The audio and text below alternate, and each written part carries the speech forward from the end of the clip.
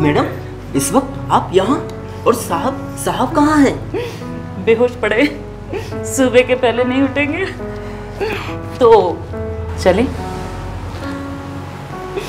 नेकी और पूछ पूछ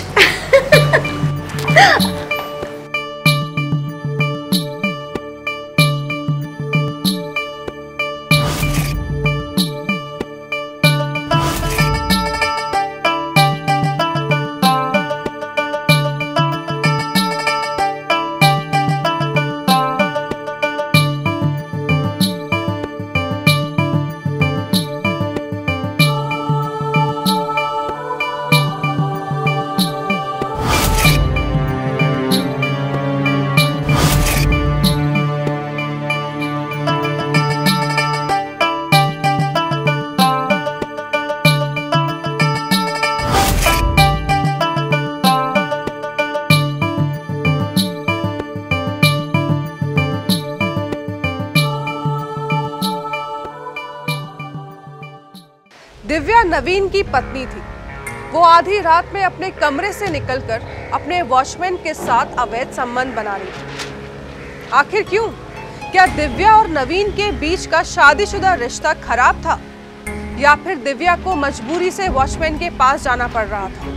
नमस्कार, मैं पिंकी सिंह स्वागत करती हूँ आपका, आपके पसंदीदा शो प्राइम टाइम में। वॉचमैन और मालकिन की इस दिलचस्प कहानी को जानने के लिए हमें कुछ समय पीछे चलना होगा।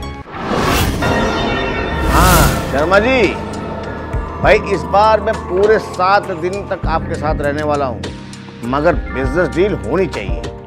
और हाँ वो मल्होत्रा और वो खुराना दोनों आ रहे हैं कि नहीं? अच्छा अरे वाह फिर तो बहुत मस्ती करेंगे। ठीक है मैं एयरपोर्ट पहुँचते ही आपको कॉल करता हूँ। जी। आप कहीं जा रहे हैं? नवीन जी शादी के चार महीने भी नहीं हुए। और आप छह बार बिज़नेस ट्रिप पे जा चुके हो। अरे हनीमून पे नहीं ले जा सकते तो कोई बात नहीं। कम से कम घर पे रह के तो मुझे अपना वक्त दो। अरे मैं बिज़नेस ट्रिप में जाता हूँ तो कोई मौज मस्ती करने थोड़े जाता हूँ। मैं तुम्हारे और हमारे फ्यूचर के बारे में सोचता हूँ। और भाई क्या चीज़ की कमी है? ये बताओ आलिशान बंगला गाड़ियाँ नौकर चाकर बैंक बैलेंस क्या कमी है? बोलो ना। कमी है आपके वक्त की। आपके प्यार की। अरे यार फिर वही प्यार वाली बकवास। देखो मुझे लेट हो रहा मेरी फ़्लाइट मिस हो जाएगी। साहब आपकी गाड़ी रेडी है और सामान भी रखवा दिया है। डार्लिंग इस बार जब आऊँगा ना तो सारे गिले शिकवे ठीक है? हाँ शंभू एक काम करना मैडम को किसी भी चीज़ की ज़रूरत हो ना फ़ौरन ला कर देना। जी साहब। ठीक है? Okay darling bye take care चल।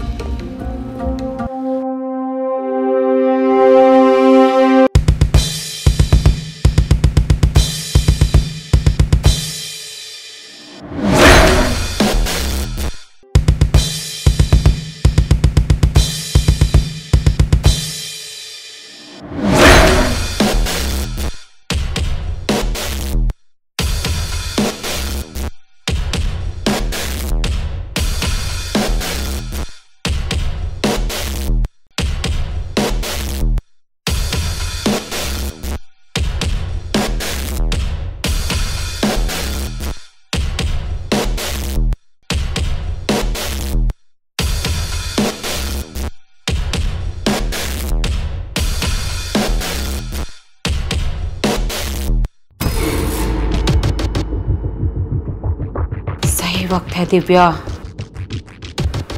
इस वॉचमैन से अपने दिल की सारी हसरत पूरी करवाने का। क्योंकि तेरा पति तो किसी लायक है ही नहीं।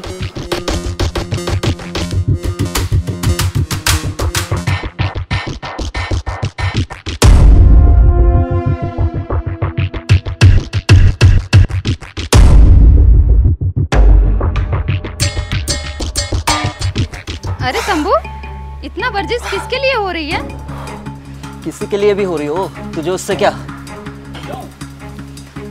मुझे डर है। कहीं तेरी ये जवानी फूटेगी तो उसका शिकार मैं ना बन जाऊँ। शक्ल देखी अपनी आईने में? तुझसे ना चुड़ैल भी खोप खा जाए। फिर मैं तो इंसान हूँ। बोल तो ऐसे रहा है जैसे तेरी जवानी के पीछे कोई नौकरानी नहीं मालकिन पड़ेगी। बिल्कुल सही कहा तूने। मेरी जवानी के पीछे मालकिन ही पड़ेगी। और तू ना तू जा। नहीं तो तेरी मालकिन तेरे को लेट आने पे ना बहुत डांटेगी। चल निकल। जब मुँह के बल गिरेगा ना तब मैं ये तेरे से पूछूँगी। वॉचमैन कहीं का। हम्म। चल चल।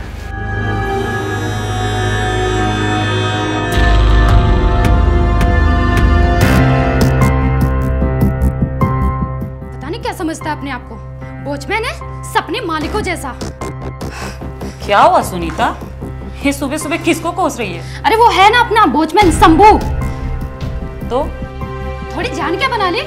अपने आप को हीरो समझता है। खैर छोड़ो मैम आज खाने में क्या बनाऊँ?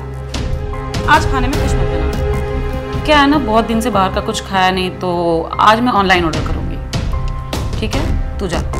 और सुन तूने बताया था ना तेरी बेटी का बर्थडे आने वाला है? तो ये ले तीन हज़ार रुपये इससे जाके उसके लिए अच्छी सी ड्रेस लेना। ठीक है? थैंक यू मैम चल जा। मैं जाऊँ? हाँ बिल्कुल जा।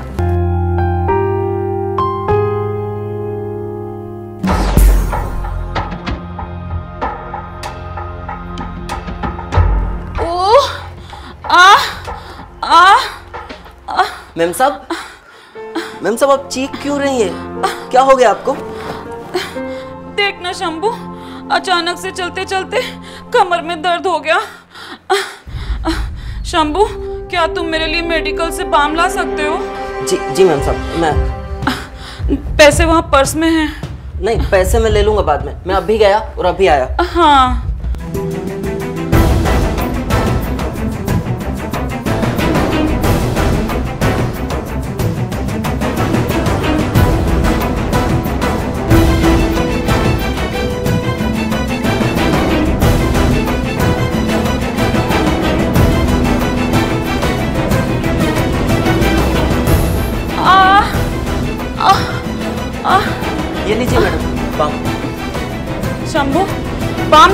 ले आए लेकिन दर्द तो मेरी कमर में है। तो मैम साहब वो सुनीता आएगी ना खाना बनाने के लिए? आप उससे लगवा लीजिए। सुनीता आई और गई। अब वो कल सुबह आएगी। तो क्या सुबह तक तड़पती रहूँ मैं? आ, आ, आ, मैम साहब आप बैठिए। मैं मैं लगा देता हूँ। पर अब हाँ शंभू तुम लगा दोगे ना पीछे? मैं मैम साहब प्लीज़ साहब बैठिए बैठिए हाँ, हाँ, बैठिए हाँ। मैं लगा देता हाँ। शंभू प्लीज़ हाँ।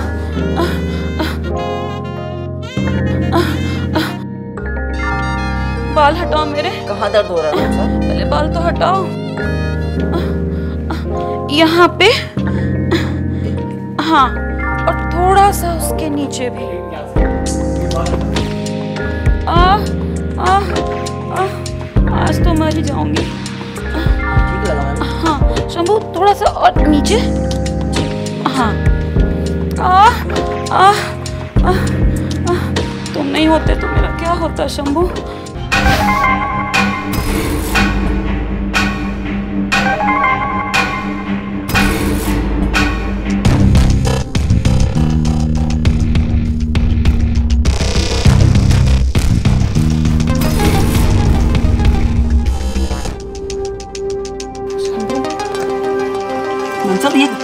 क्या कर रही हैं आप? कुछ नहीं कर रही शंभू। तुम मेरे अकेलेपन को नहीं समझते? हाँ?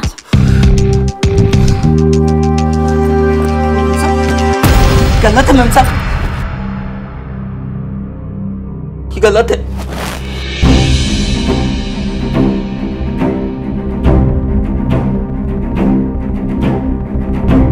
अब चाहे कोई भी कीमत देनी पड़े। वॉचमैन को तुम्हें अपना बना के। क्या बात है शंभू भैया? आजकल कहाँ गायब रहते हो? अरे रानी क्या बताऊँ तुझे? मेरे हाथ अलादीन का चिराग लग गया है। अलादीन का चिराग? हाँ तुझे पता है वो जो मेरी दिव्या मैम साहब है ना? अरे वो जिसके आप चौकीदारी करते हो वो तो बड़ी हॉट है। हाँ वही। मुझे लगता है उसको मुझसे प्यार हो गया है। शायद इसीलिए आज उसने मुझसे मालिश करवाई है। भैया चौकीदार होके महलों के सपने मत देखो। अरे नहीं मैं सच कह रहा हूँ। आपको डर नहीं लगता है? कहीं उसके पति का पता चल गया तो? मुझे किस बात का डर? डरना तो दिव्या मैडम को चाहिए। और तुझे पता है मैं ना बहुत पैसे हटने वाला हूँ। और तुझे भी बहुत सारी शॉपिंग करवाऊँगा मैं। अगर आपने शॉपिंग नहीं करवाया तो उसके पति को बता दोगे तुम दोनों का चक्कर। अरे तू ऐसा मत करना। ऐसा करेगी तो मैं फंस जाऊँगा। और तू फ़िक्र क्यों करती है रानी? मैं तुझे बहुत सारी शॉपिंग करवाऊँगा। मैं हूँ ना भाई हूँ ना तेरा?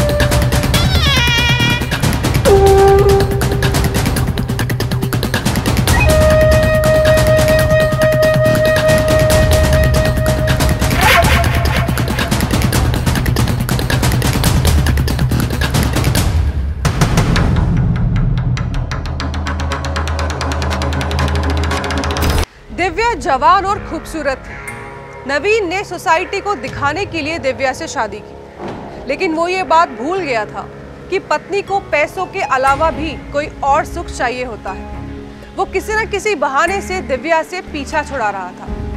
वहीं दिव्या की शारीरिक ज़रूरत अपने पति नवीन से पूरी नहीं हो पा रही थी। इसीलिए उसने अपनी ज़रूरत को पूरा करने के लिए अपने वॉचमैन शंभू को चुना। क्या दिव्या अपने मकसद में कामयाब हो पाएगी? या फिर कहानी में कुछ और ही होगा? आइए देखिए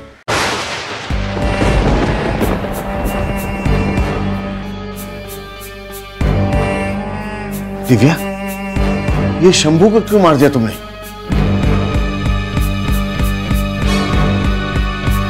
अगर तुमने इसको अपने बचाव के लिए मारा है, या तुम्हारे अकेलेपन का ये फ़ायदा उठा रहा था, उसके लिए तुमने मारा है, मुझे सच सच मैंने एसीपी साहब से बात कर लिया मैं तुमको बचा लूँगा। तुम्हें कुछ नहीं हुआ दिव्या।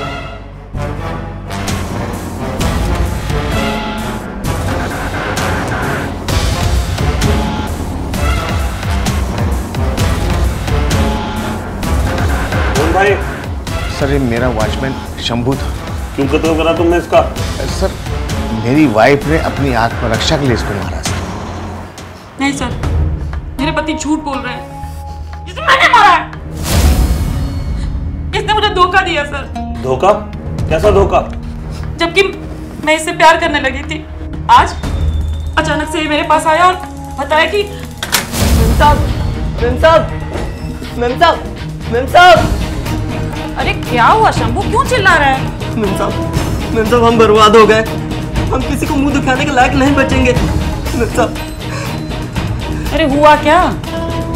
मेम साहब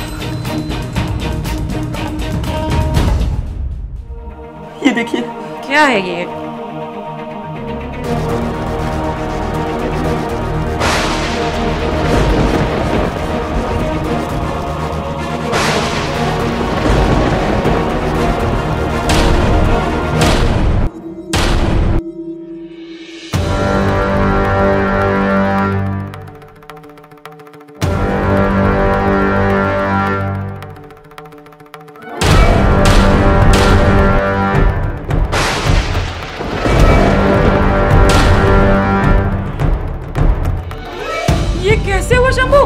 ये वीडियो किसने बनाई? पता नहीं मेम साहब लेकिन वो लोग दस लाख रुपए मांग रहे हैं। और वो लोग कह रहे हैं कि इस वीडियो को वायरल कर देंगे। नहीं। और मैडम सोचिए अगर इस वीडियो को वायरल कर दिया और कहीं साहब को पता चल गया तो? नहीं शंभू ये वीडियो वायरल नहीं होना चाहिए। और तेरे साहब को तो बिल्कुल पता नहीं चलना चाहिए। नहीं तो मुझे जान से मार देंगे। शंभू तू कुछ कुछ कर शंभू कुछ कर। मैं मैं ना मेरे पास ना कुछ कैश पड़ा होगा मैं अभी लेके आती हूँ। तू कैसे भी करके उनको मना।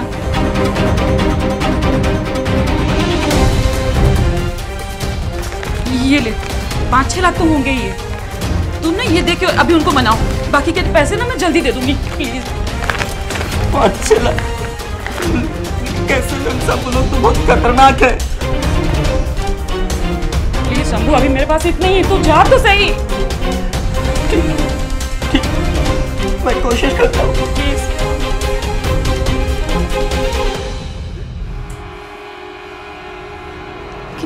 कैसे? हाँ तो कोई तीसरा था भी नहीं। फिर ये वीडियो किसने बना ली?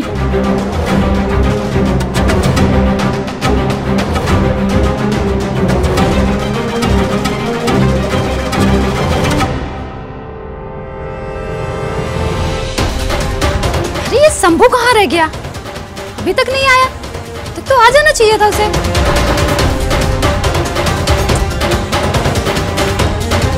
बेचारी मैम साहब।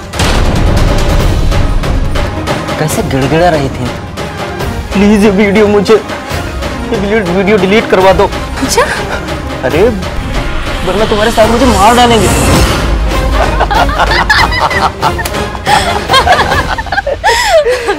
पता ही नहीं है। मुझे तो पहले दिन से ही पता था कि मैडम अपनी जिस्मानी भूख मिटाने के लिए ना खुद को तुझे सौंप देगी। इसलिए तो तेरे कहने पे मैंने छुप कर वीडियो बनाई। हम्म, अब ये वीडियो दिखा करना मैं मैडम जी से पैसे भी लूँगा और अयासी भी करूँगा।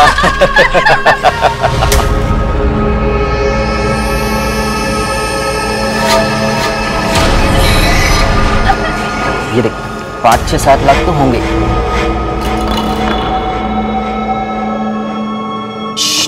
मैडम जी का फ़ोन है।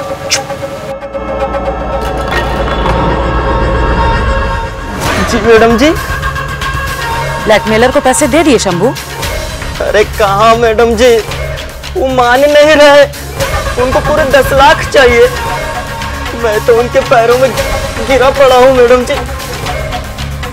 गिड़गिड़ाने की तुझे कोई ज़रूरत नहीं है शंभू। मुझे याद आया तेरे साहब ने घर में 25 लाख और रखे हैं। तू आ। और 25 लाख लेके जा सच में मैडम जी? हाँ शंभू। अरे मैडम जी बहुत अच्छा हुआ जो आपको पैसे मिल गए। बहुत खतरनाक है वो लोग। मैं मैं अभी झट से आता हूँ। मैं बस अभी आया मैडम जी। अरे पूरे 25 लाख रुपए हैं। पच्चीस लाख? हाँ पाँच सात लाख तो ज़्यादा ले ही लूँगा मैं। तो पूरे पच्चीस लाख लेके आने हैं। ये सही है। अच्छा सुन। तू ये रख ये पैसे और सुन तू भी आ जाना पीछे से। लेकिन ऐसे दिखाना जैसे तुझे कुछ पता नहीं है। हाँ? ठीक है तो मैं जाता हूँ। ठीक है।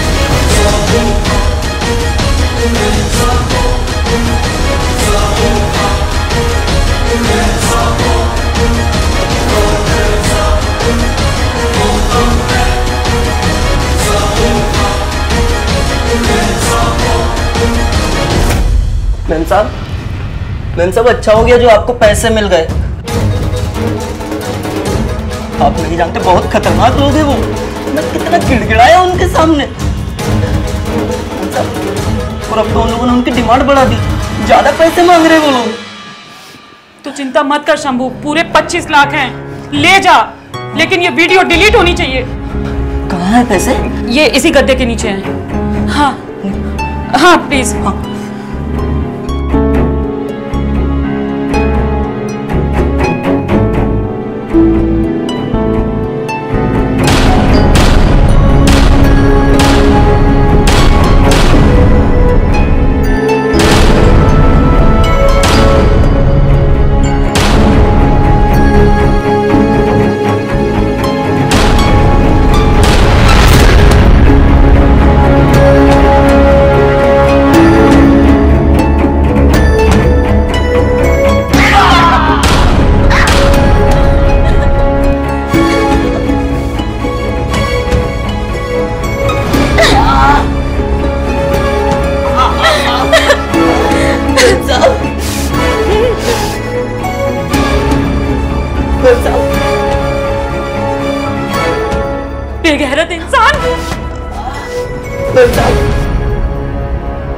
अरे, मैंने तो तुझे खुद को सौंप दिया था।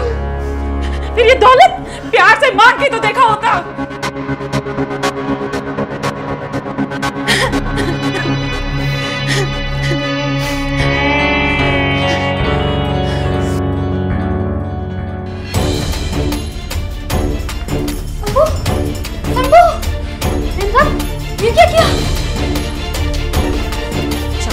तुझे भी मार सकती हूँ।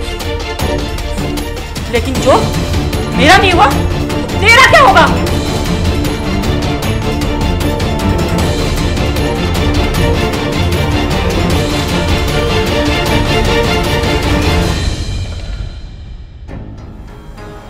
आप ही बताइए, इंस्पेक्टर साहब, क्या ये जीने के लायक था?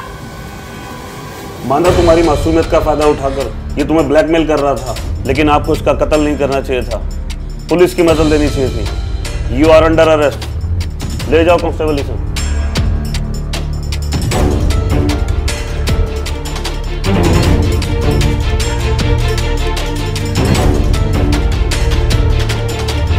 हेलो एंबुलेंस कुमारी इलाज आओ अक्सर हम भावनाओं में बहकर ऐसे कदम उठा लेते हैं, जिसका अंत जुर्म की राह पर होता है, और फिर हम गुनहगार बन जाते हैं, जैसा कि दिव्या के साथ हुआ।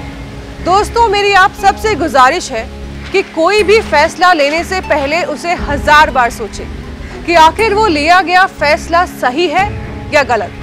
फिर मिलूँगी आपसे क्राइम टाइम के अगले एपिसोड में एक अनूठी, अनकही कहानी के साथ। तब तक के लिए सतर्क रहें, सुरक्षित रहें। जय हिंद, जय भारत।